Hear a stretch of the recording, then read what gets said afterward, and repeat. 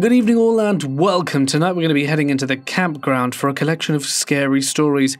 Don't forget to drop a like and subscribe, and press the bell icon for even more stories every day this week. But for now, it's time to get comfortable and let the darkness take control. I always hated going camping.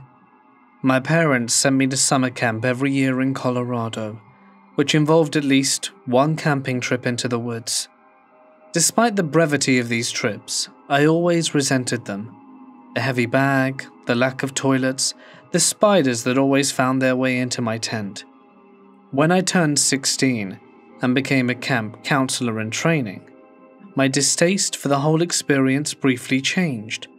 At that age, we were only a few years older than the oldest campers, but were given considerable leeway in what we were allowed to do.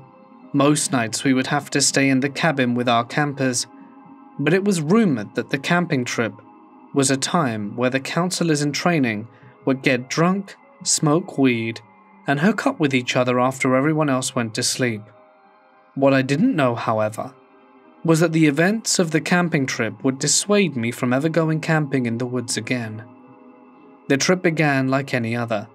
Altogether, there were around 30 people on the trip four counselors in training, four counselors, and around 20 or so boys and girls between 13 and 14, walking in single file, lined up and down the various trails.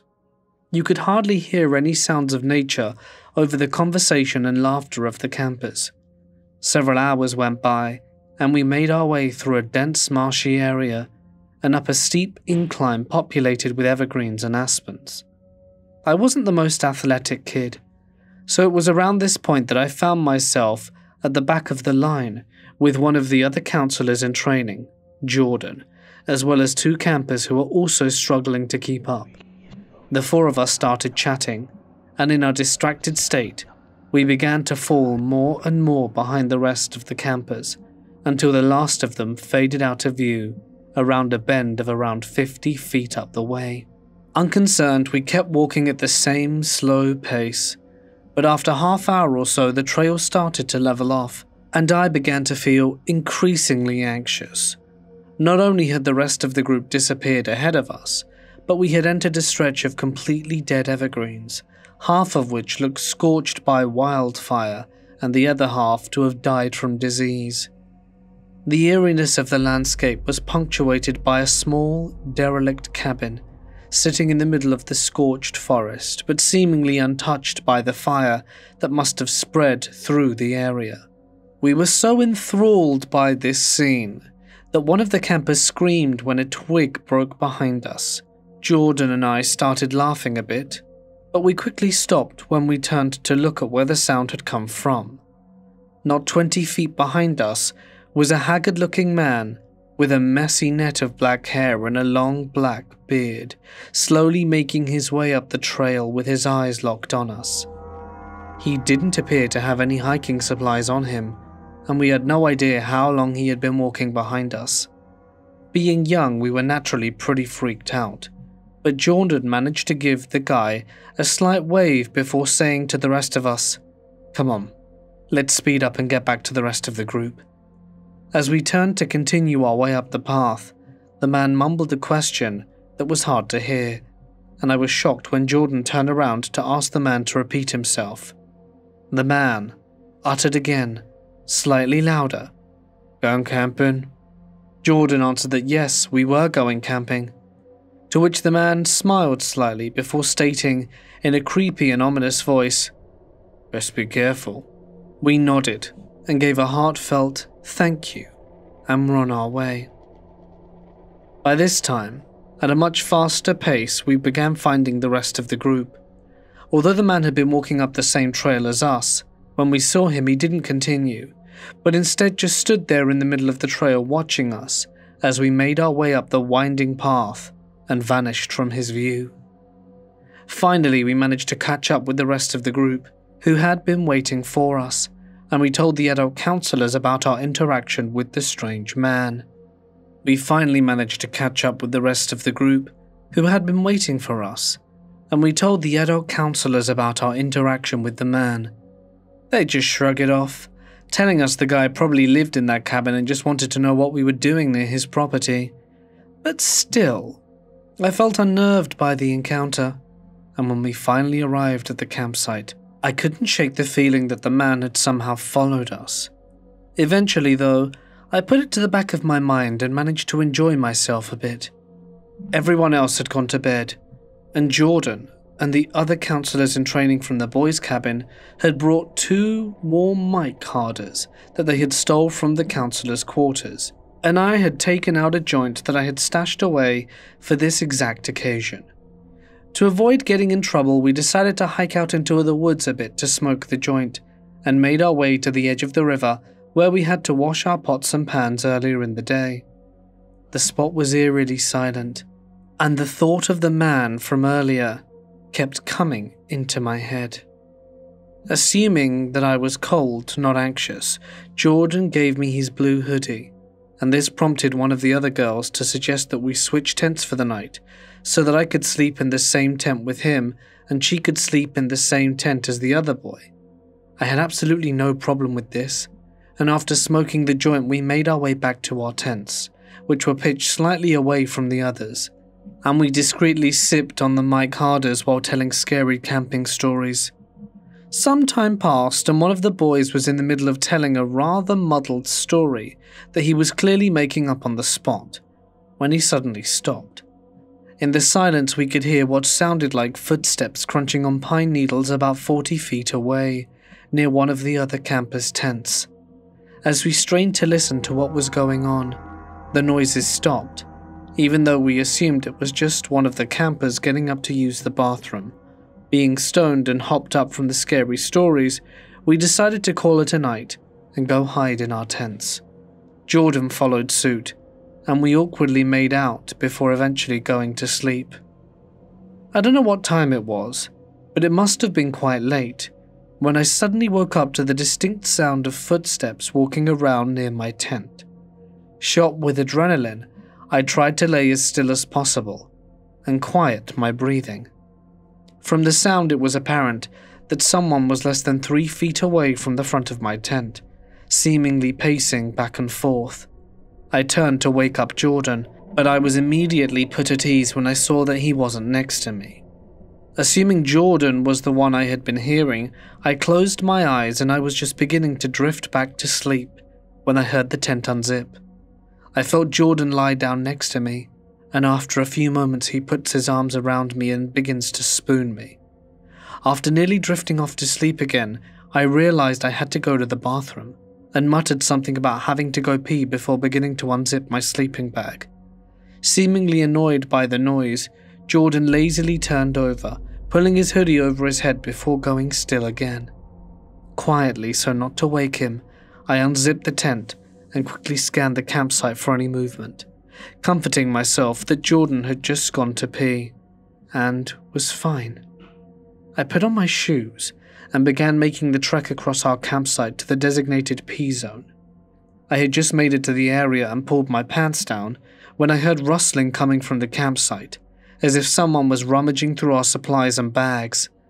Still slightly drunk, I tried to pull my pants up, and in my haste, lost my balance and tried to catch myself with a branch that made a loud snapping noise when I grabbed it.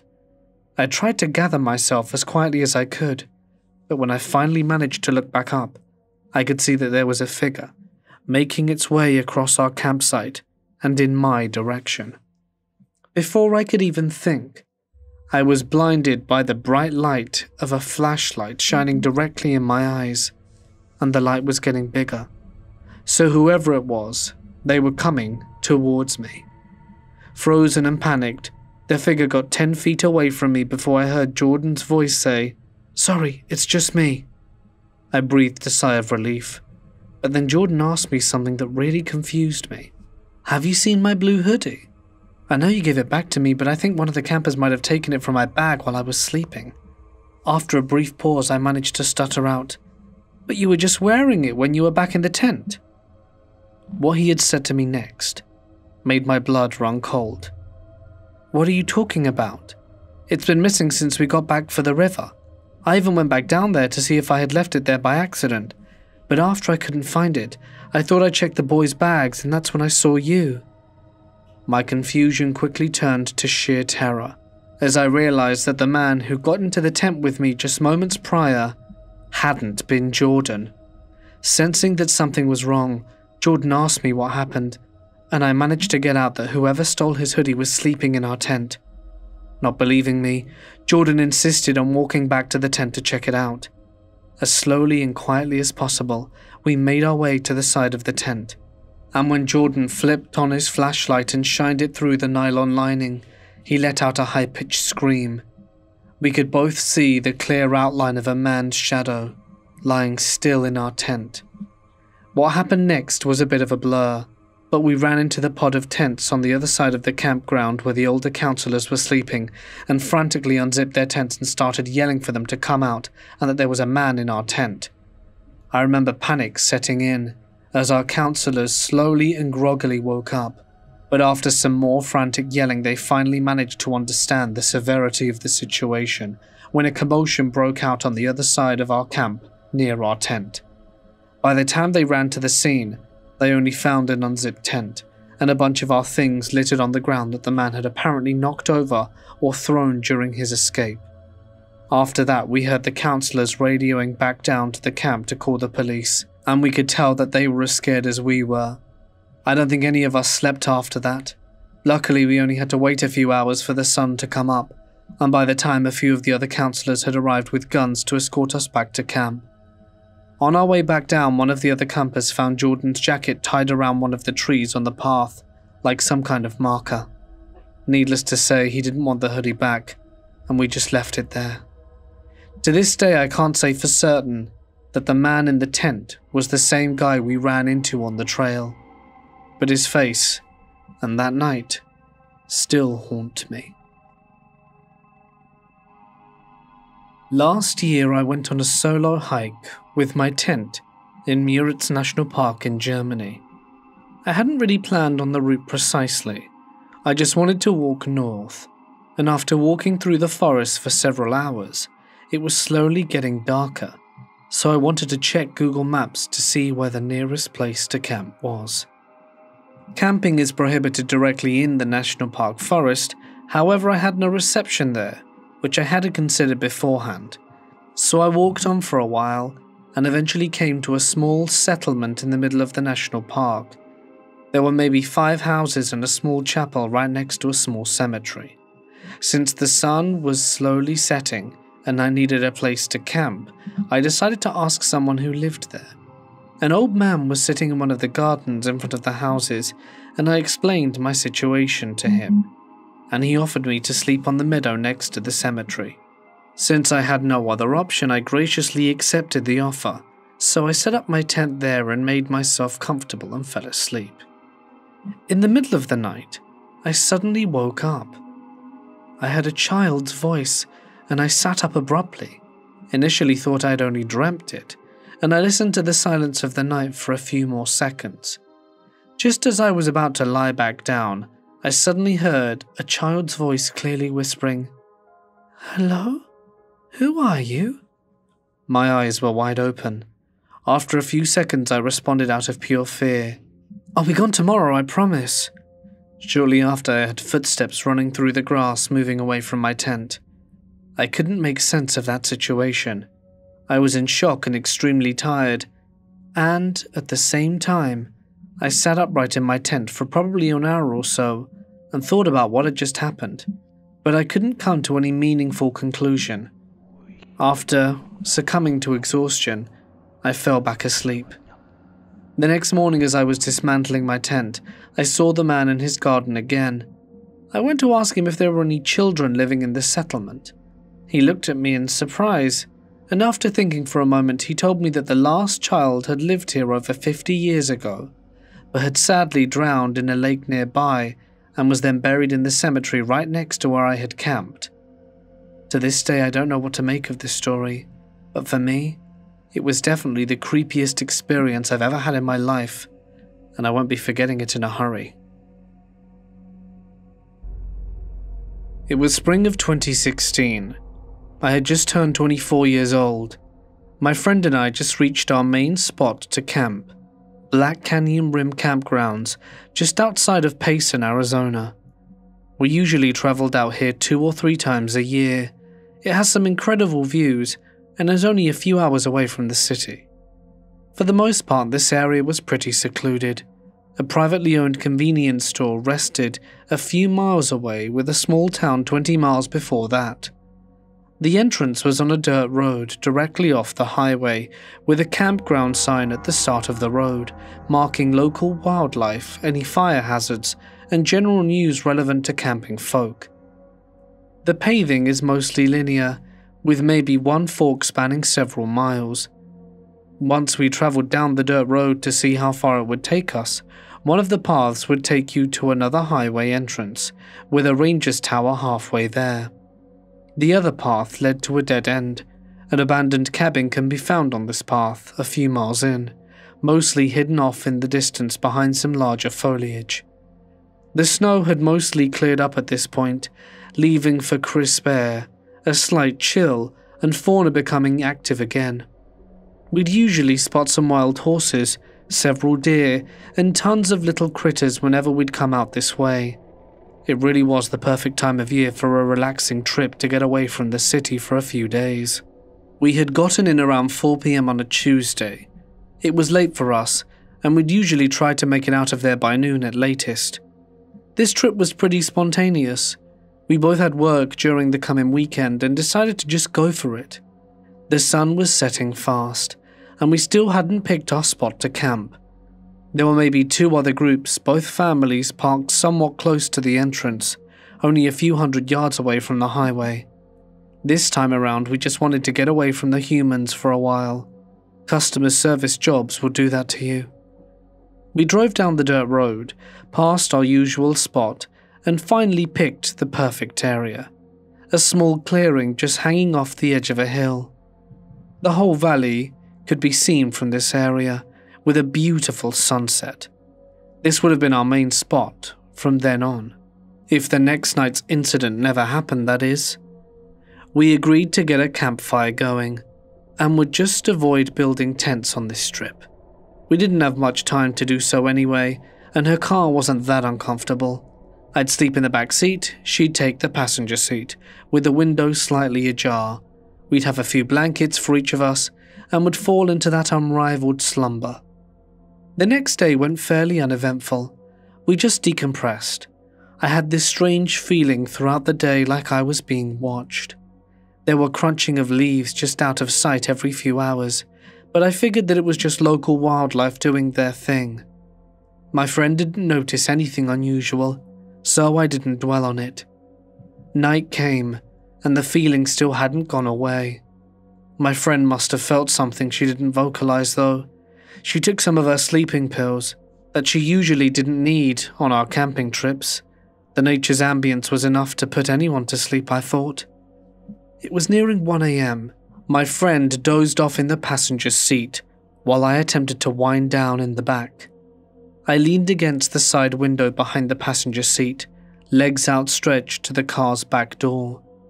The window opposite of me was rolled down slightly, with a cold breeze flowing in. I had been on my phone scrolling through Facebook when I heard something outside. A few crunches of the fallen leaves, several paces outside the car. I whispered to my friend, Did you hear that? But she was already out. I put my phone down and listened intently for a minute or two, but there was nothing. It must have been a small animal, curious of the camp. I went back to my phone, scrolling through social media, and about 10 minutes had passed when I heard it again a crunch right outside the door. I lowered the phone. My eyes took a moment to adjust from the light of the phone into the deep dark of the woods. As I turned the phone away from me, the backlight illuminated the window above my feet. To this day, I can't get the image out of my head. Two dirty, scabbed hands held onto the window the fingers wrapped inside the car. The nails were long, unkept, and dark. Behind the window, a silhouette of a face was pressed up against it. The breath would create condensation every few seconds, and all I could make out were the reflections of those empty, black eyes. I couldn't move. I couldn't scream. It felt like eternity. The staring contest between me and this. thing. Thoughts were repeating incessantly in my head. Why haven't they run away when I noticed them? What were they planning? Was it the face of death? After probably 10 seconds of not doing anything, the hand slowly unclenched the window and receded into the darkness. The condensation on the window dispersed, and a few seconds passed before I heard the dreaded crunch melodically fading into the distance. I, still, just sat there. What the hell just happened? Why didn't I do anything? Why am I still not doing anything? With that thought, my body shot into adrenaline. I pounded on my friend's seat, waking her up from her slumber in a dizzy confusion. I unlatched and kicked open the door and took a moment to scan the area. Whoever they were, whatever it was, I scrambled to pick up any important camping supplies we left outside and just crammed everything into the back seat and trunk, periodically looking over my shoulder listening for those footsteps. I slammed the back door shut, and there they were. A grim reminder of the horror that had just happened. Two handprints, imprinted on the window. I quickly wiped them off the window in a panic, a reaction to erase the evidence, I guess. I jumped into the front seat, started the car, and floored it out of there. My friend finally coming, asking me what the hell I'm doing. We gotta go. Someone's out there. I didn't see whatever or whoever it was while fleeing the scene. Speeding down the dirt road, my friend insisted I slow down, and eventually I did. We reached the highway and I proceeded to drive 20 or so miles before we reached a Denny's, when my friend asked for us to stop and eat and for me to explain everything. The nightmares subsided a few months later. My embarrassment continues to this day for the state of shock I was in at the time. Everyone says you either have a fight or flight instinct, and I'm confused whether I have either. I mean, I just sat there and did nothing. I guess mine was freeze. I frequently tend to ask myself who was out there. Another camper messing with us? A resident of the abandoned cabin down the dirt road? Or maybe something more paranormal lurking in the forest, watching lone, vulnerable campers as they drift off to sleep? In the years ahead, we would still go camping there, but never too far from the highway. Whatever it was, I hope that was the last I ever saw of it. A buddy of mine and I tried to camp twice a month, now that I have a vehicle that can be trusted to get me to some of the more remote areas of our state. We planned a camping trip for this past weekend. We chose a fairly remote location than we had been the previous weekend. The previous weekend, we were the only people within a one mile radius of our camp spot. Friday night rolls around, and we got there and set up. This story takes place Saturday night at around 9pm, so the sun is long gone and the moon hasn't quite risen yet. It's pitch black out, and other than what our fire lights up, we can't see anything. Suddenly, from the darkness, we hear a man screaming. We listen intently, silently sharing an anxious look. At first, we were hoping it was someone drunk and having a little too much fun but it quickly becomes obvious this isn't fun party screaming. It isn't even like he's hurt. It sounds so full of despair, anger, and anguish. I'm going to take a moment to remind you that at this point it's 9 pm, pitch black at night, in the middle of nowhere in the woods, five miles from the nearest cell phone signal, and we hadn't seen anyone for hours. This screaming persists for what feels like hours, but was probably no more than five minutes. We had no idea what was making it, and started feeling extremely paranoid. We gathered up anything remotely close to a weapon and tried to come up with explanations of the screaming while keeping our eyes on the forest around us. After about 15 tense minutes of fear induced paranoia, I nearly fell out of my seat as I watched a flashlight and a lantern slowly enter our camp. I greeted the stranger with a basic, How's it going? before he was even lit up by the fire. He responded quickly but flatly asking if we could do him a favour. That depends on the favor, my buddy and I said in unison, obviously tense, holding our weapons close to us. The stranger proceeded to ask if he could hang out with us for a second by the fire. Given the two of us, plus our assortment of weapons gathered from around our camp to within our arm's reach, we decided to let him do so. After a short second of awkward silence, I asked him what the hell was going on, and he proceeds to tell me and my buddy that he was camping down the trail with his buddy, and that his buddy had snapped and tried to kill him. Wait, what? I said before the thought even finished processing in my head. Is that the screaming we heard earlier? The man slowly nods, staring blankly into the fire, and begins to share his tale. We were just hanging out, man. We came up early today and my buddy just freaked out. He started screaming and screaming, then wouldn't stop. Then he attacked me. He lunged at me. I told him to back off and chill, you know, but he kept on coming. It started getting pretty violent, and I'm pretty sure he was going to kill me, so I grabbed my car keys, the lights, and ran. I didn't know what to do. He chased me when I ran. We don't have firearms or anything, but we do have a hatchet. My buddy and I looked at each other for a second, completely astonished. Then something horrible dawned on me.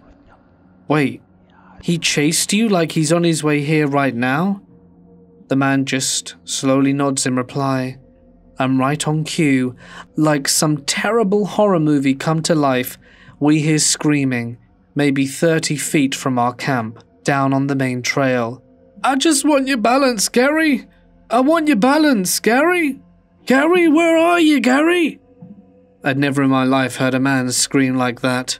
I'd never heard anything like it in my life. It was a brutal, guttural scream that was shrill to the ears yet deep in pitch. The sound of someone gone completely mad, and the way he said the stranger's name would switch erratically from long and sing song to short, guttural punches of sound. We killed our lights, became silent, and listened. By some miracle, the madman didn't notice our camp and continued walking down the trail screaming the whole way. We ended up chatting with Gary for hours, listening to the screaming getting further and further away. We come to find out they had taken 5 grams of magic mushrooms each, and his buddy, who we'll call Ty, was a co worker of his and was fine for 3.5 hours, then suddenly snapped. It seemed as though Ty thought he would kill Gary and steal his good trip. We hear the screams get further and further for over two hours. By this time, it's 11 pm. The moon is starting to come out, and it's below 30 Fahrenheit. Ty had no jacket or flashlight, according to Gary. My buddy and I are way too drunk to drive out of camp to get cell service, as it was snowy and icy, and required two to three miles of hiking and then driving after getting off the trail. Gary was still lightly feeling the effects of weed and mushrooms, so he couldn't drive either and we had to make the decision to let the guy wander, hope he sobered up, and could find his way back. And he did, right into our camp. We heard yelling after an hour of no screams, maybe 30 to 50 feet from the camp. Help, please, I'm lost! And we can tell the man's walking from the woods into our camp. We tell Gary to hide just in case and greet the man with me carrying my 12 gauge shotgun and my .40 caliber pistol holstered. My buddy's carrying his AK 47 style rifle and his two 9mm Glocks holstered, and with our flashlight on our brightest setting in his face. He was about 6'3 and 300 pounds. We talked to him, decided he was calm enough to walk with, and walked with him back to camp. He seemed really remorseful, said he blacked out and didn't remember a thing. He had fallen out with his buddy, and we escorted him to camp down the trail. Returned and told Gary that Ty seemed cool and if anything else happened, to scream and come running, and that we would help him out. It ended up being a happy ending.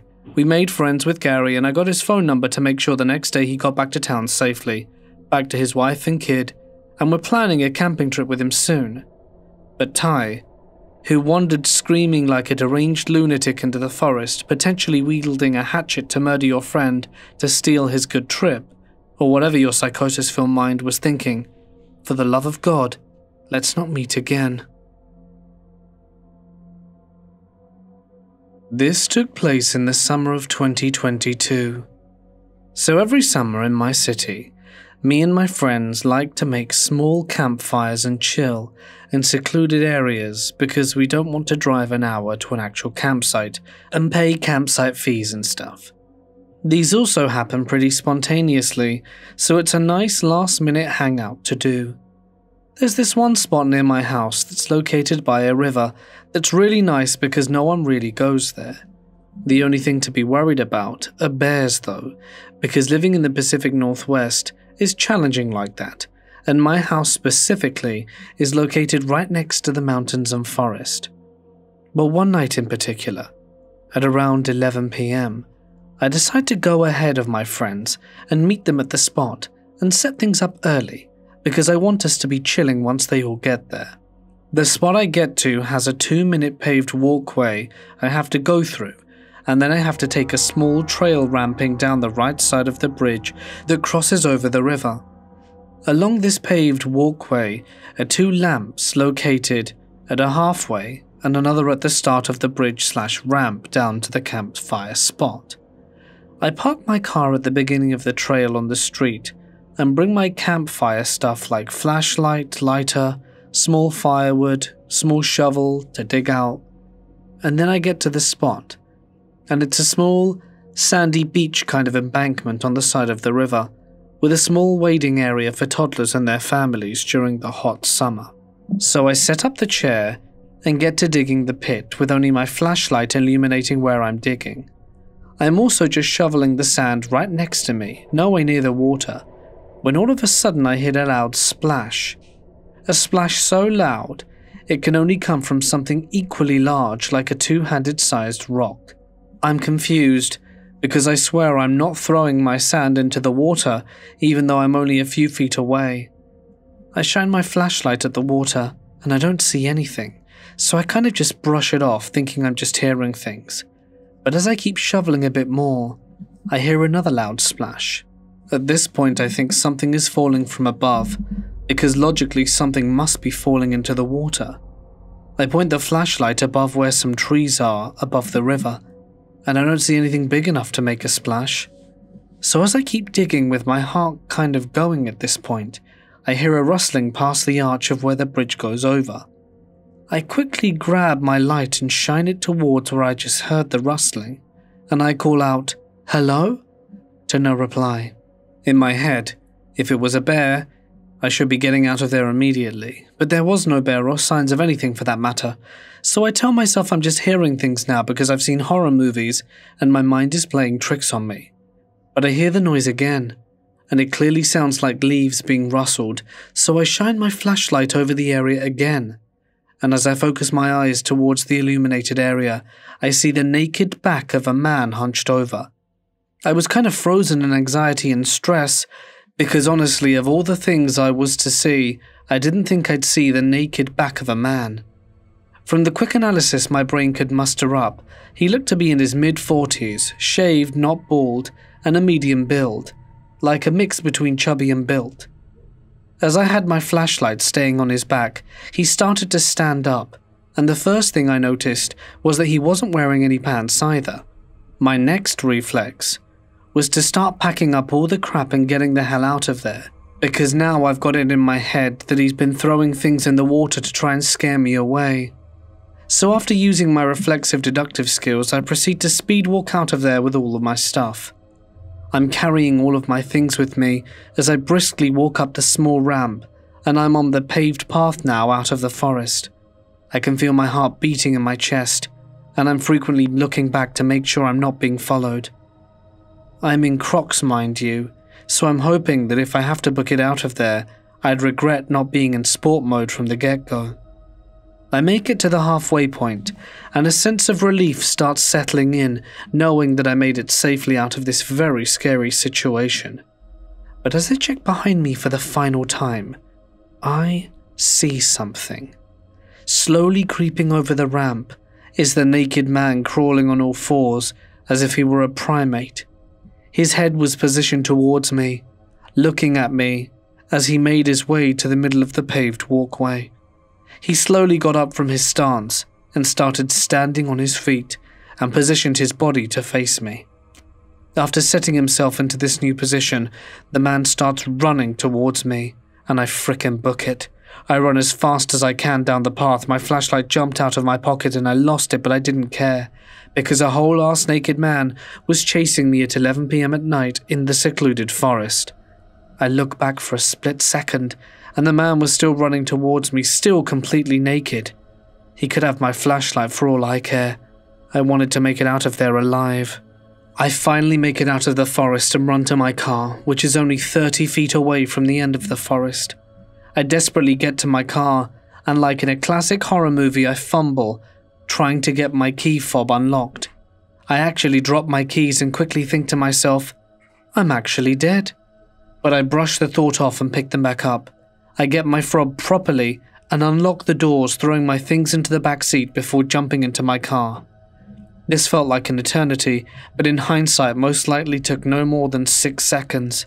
As I tried to guide the key into the ignition, I'm fixated on the end of the paved path that I was just on a few seconds ago, waiting to see if the naked man was still coming. I feel my key go into the ignition, and I switch the sights on the road in front of me, and I zoom out of there as quickly as possible. As I drive away, and I'm a good 30 seconds from the location of the horror that just took place, I get a call from my phone.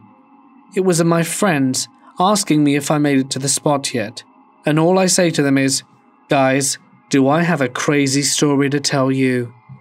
They pull up to my house because, again, it was actually decently close to the campfire area, and I tell them the whole story. They all swear that none of them were trying to prank me or anything, and I also knew that none of them would try to full sprint at me with their dong out. But just as we're talking it out in front of my house, there's a college student who looks like he's walking home that's going towards the direction of where I encountered the naked man. I just yelled out to him, Yo, be careful. There's a naked guy that was chasing me by the bridge that crosses over the river. Oh, really? Damn. Gotta go over that bridge to go home. Good luck, man. The next day, I reported it to the police by phone, but they sent over an officer so that I could tell them in person and show them where it happened. When we went to see where I initially saw the man's back hunched over, they said they didn't see any trace of anyone being there previously, but the officers said that they would make a note of it in case it happens again. Some friends says it's a cryptid, others say it's more realistically either a homeless or mentally ill person. I've never been a big fan of camping. Around 2012, my friend and I decided to take a Saturday night to camp on private property on the bank of a small lake in the rural American Southwest. The lake wasn't very large, probably only 50 to 150 yards across, and was more of a deep pond, but it was five times as long as it was wide, and from the perspective of our camp, it consumed the majority of our sightline. The plot of land itself wasn't entirely removed from civilization. We were five to ten miles outside of a small suburb of a mid sized southern city. That being said, it definitely wasn't easy to access, and the only way in was a gated narrow dirt road across a levee which spanned one side of the lake. This road was gated and locked. The owner gave us his code, and we pulled the car through and locked the gate behind us. If you've ever been down south, you know how quickly it gets isolated outside of the cities. Our cities are small, and the rural people around often live rough and wild. We have dense woods, so thick that they're not worth building in unless you have some connection or attachment to the area. I've heard it was not profitable to cut roads through a lot of it when they were building the highways in the 50s, so not much development has happened in the last hundred years, and in some places since the Civil War. It's not uncommon to go for a 30 minute drive straight out of town and come upon cabins that are obviously off the grid. My friend and I were used to living in the suburbs, so we were just happy to see the stars and hear the sounds of nature. We were at our very utilitarian camp, small Coleman two person tent and blanket, simply looking around and enjoying the night, when suddenly my buddy sat straight. Hey, do you see that guy over there? He pointed to the other side of the small lake. I didn't see anything. I sat up slightly and said, Nah, it's just the dark playing tricks on you. He seemed very shaken. Nah, look, there are a bunch of faces behind the trees now. That got my attention, and so I sat up fully, rubbing my eyes, trying to gain full focus. And then I saw them. Small, round, white faces stared back at me from across the lake. Perhaps 15 to 20 of them, all positioned in such a way that their bodies were behind the trees and only their heads were visible. The best way I can describe the faces is like very pale, somehow internally illuminated children, it would seem. I should mention that neither of us were drinking or high. We were too young for that, not for at least a few more years. We'd had dinner at home, and were just planning on going to sleep and chilling out for a while. The faces weren't moving. I was kind of sitting there in shock, thinking that my eyes would adjust, and I would see that they were a reflection, bugs or owls or something. But I would never come to that realization. I stared right back at them for what felt like five minutes, looked back at my friend, and they were gone. Bodies of water carry sound extremely well, and we heard excessive shuffling from the other side of the lake, and a few small branches snap. It's incredible what your ears pick up during an otherwise silent night. My buddy was tearing up when he said, What the hell are those? And I didn't have a good answer. Neither of us slept particularly well. I definitely felt validated in my feelings of disliking camping, but what were we going to do? I tried to do some research on the internet, but I never found a plausible phenomena that would explain that. If anyone else can, I'd love to hear it. I wanted to share the experience I had back in the spring of 2018. I'm an avid outdoorsman and love to hunt and camp around the Francis Marion and Sumter National Forest. Back in 2018, I took my young son and dog out to a remote area in the National Forest to test out a new camper shell on my recently purchased truck. We found a secluded area off a dirt road, made dinner, and then packed it in for the night as soon as it got dark. It was around 11 pm at night. I sat up and looked out of the back of the truck due to my dog growling. In the distance, I saw what appeared to be hundreds of small white balls of light darting around, then hovering for a few seconds and slowly converging to our campsite. They looked just like the dust orbs you see on videos, but these were producing light in a completely dark forest. They surrounded my truck. It seemed like there were hundreds of them. They were a soft white light, and they didn't blink. Lightning bugs were out in the early evening, but those were yellow and blinking. And after around half hour of them floating around and concentrating around us, I finally worked up the nerve to open the truck, lit a lantern, and they promptly disappeared. After turning off the lights, and locking back up, they returned. My son was fast asleep, thank goodness, and I watched them until I finally fell asleep at around 1am. The next morning, when we tried to leave, the battery on my new truck was dead. There weren't any lights in the back cab where we would have used any power, and a week later I had to replace the electric control module.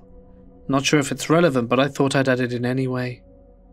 I just wanted to know if anyone has had a similar experience to mine, because I'm left very confused, and I just wish I knew what they were. Years ago in Norway, I was enjoying a camping trip to celebrate one of my friend's birthday, and we had planned to hide the gifts in a small hedge maze close to where we were camping to make opening them more fun. Therefore, the night before, we all went to bed at which point it was basically pitch black apart from the weak light emitted from the moon. I volunteered to go hide the gifts, and since it was so close by, the adults allowed me to hide them. The maze in question was in the middle of a clearing and wasn't that big, being circular and maybe 20 meters across, so it didn't take me long to hide the gifts. When I was coming out, though, I made the mistake of looking into the edge of the heavily wooded forest and noticed an odd shape. It seemed to move a lot more than its surroundings. It was somewhat windy that night, so the plants were moving slightly, and seemed humanoid in shape. After what was probably only a few seconds, the shape abruptly moved, making it seem like the figure was suddenly facing me. The thing is that whatever the shape was didn't have a face. Where it would have been, it was simply flat. It's hard to describe just how terrified I was in that moment. Not only was I only 11, but I was alone in the dark, maybe five minutes away from the rest of the campers. If I had to describe it, I would say that it was as if freezing water was suddenly poured all over my entire body. My heart felt like it had stopped, and needless to say, I bolted the hell out of there, ran all the way back to the rest, and proceeded to explain what I had seen. Obviously, none of the adults believed me, but my friend and some other kids did. Not really surprising since my friend group at the time was really into haunted stories and such. The next morning, I went back to the same place and explored the forest around it with a bunch of other kids, but didn't really see anything out of place. Although I did find an albeit small spot where the grass looked like it had been squished, as if someone or something had been standing there, and it was around the place I saw the shape.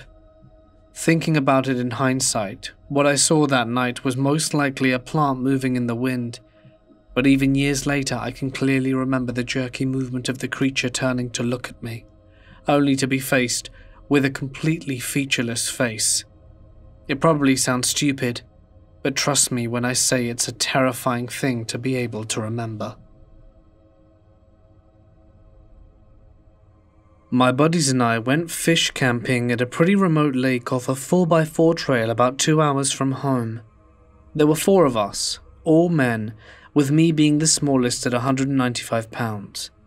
The camping spot has great fishing, as it has a nice, deep spot with lots of trout right next to it, but the campground itself is rough. It's on the side of a steep hill with barely enough room for tents and a small fire ring. It's accessible by a rough, steep winding 100 yard trail from where you park your 4x4 above the camp. We had a great day drinking beers, catching our limits on nice sized trout, and after it got dark, we made a small fire and just chatted the night away. It was a great time. Suddenly, there was someone shining a blinding light in our eyes from about 10 yards away. At no point did we hear this person approach. The person announced themselves as the sheriff. One of the friends asked, Oh, are you a Calo County sheriff? The stranger didn't respond to the question. Instead, he shined a light in each of our faces, then said, Have a good night, then walked off. We sat there dumbfounded, asking each other what the hell that was. And after a minute or two, curiosity eventually got the better of us. So, I lit up this person with my stupidly powerful flashlight. He was about 50 yards away, right before the crest of a bend of the trail, right before he was out of sight. We all saw it. He was just some dude in a flannel shirt and jeans. That's not a sheriff. He must have heard me, as you could see him start moving quickly for a second before he was out of sight. A moment later, we heard an engine start, and that was strange. We didn't hear the vehicle earlier, but I attribute that to being drunk and loud. Now, what makes this kind of scary to us is what if it wasn't four big dudes he approached? What if it was a single person or a couple? What were his intentions? Should we have chased after him? Debatable. Should we have reported this to the actual sheriff's department? Absolutely. But regrettably, we never did. It all started when summer came, and me and my three friends, Lola, Cassie, and Jennifer, were all planning to go camping. We were all excited and scared at the same time because we were going camping alone. Lola asked her dad if he could drop us off, and he agreed to take us. When the next day came, we started heading up. Lola's dad set up the camper that we were using, and there were some spare blankets inside too. Before leaving, Lola's dad got into his truck and turned around. He stopped and rolled down his window and said, No boys, smiled, and let us know he was joking and drove off. There were three rooms in the trailer one master bedroom and two rooms with bunks. Each room had a TV in it, so nobody cared which room they got. Everyone knew that Jennifer didn't like small rooms, so we let her have the big one. I was in a room with Lola, and Catty was in a room by herself. I started unpacking when we heard a loud boom outside. Lola, did you hear that? Hear what? The boom. Yeah? We both looked at each other startled and then continued unpacking, but something seemed off. It was the fact that Lola was so chill about it. I was done unpacking, so I walked outside and started a fire. Jennifer walked out and asked if I saw it. When I asked, saw what, she started freaking me out. Panicking, her eyes darting back and forth, and then she calmed. I felt as if something was watching me, so I turned around and I saw an orb in the corner of my eye, reddish black, but by the time I turned to look, it was gone. I was so freaked out, I told Catty she could cook instead. We had a family secret recipe of shepherd's pie and a bunch of vanilla cupcakes. There were about a dozen cupcakes left in the open box, so we just left it on the table and went to bed. I could hear the TV coming from Catty's room, so I punched the wall and told her to be quiet. Right after I said it, everything went quiet, except for a small scream in the distance. It didn't sound human. It gave me chills that ran down my spine. I dozed off, but woke up in the middle of the night from hearing someone in the kitchen.